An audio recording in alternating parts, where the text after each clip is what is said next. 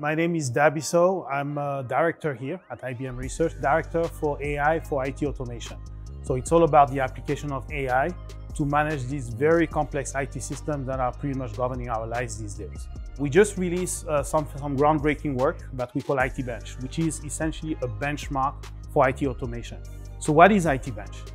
IT Bench is an environment that allows you to really measure the effectiveness of your IT automation solutions. IT Bench is the, is the first of its kind, covers a wide spectrum of uh, IT automation problems.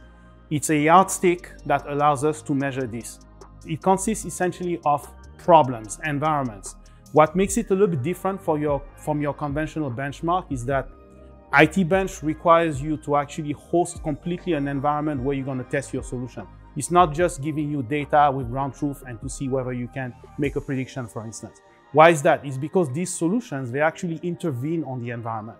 A good analogy that I like to give is uh, what a doctor would do. When a doctor tries to solve, to cure a patient, the doctor intervene on the patient. Where here in IT automation, we want to manage and we want to keep our systems healthy.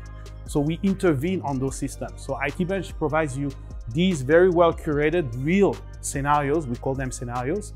There's 94 that were released in the first uh, in the first version of IT Bench that was released a couple of weeks ago. It's a growing set of such scenarios where people can go and measure the effectiveness of their solution. So when it comes to what's next uh, for IT Bench, it's really about adoption. We really want to establish this as the benchmark, you know, in the community. We're not doing this alone. We actually released IT Bench, the first version, together with the University of Illinois, Urbana-Champaign. So we intend to keep having that open lens, be very open to the community at large. So how can you access IT Bench? It's open. So right now, github.com slash IBM there's a link that allows you to go there and to uh, play with the scenarios. We release some sample scenarios. So we invite the whole community to join us on GitHub, connect with us, uh, contribute to it, and uh, write solutions and let us know how you're doing.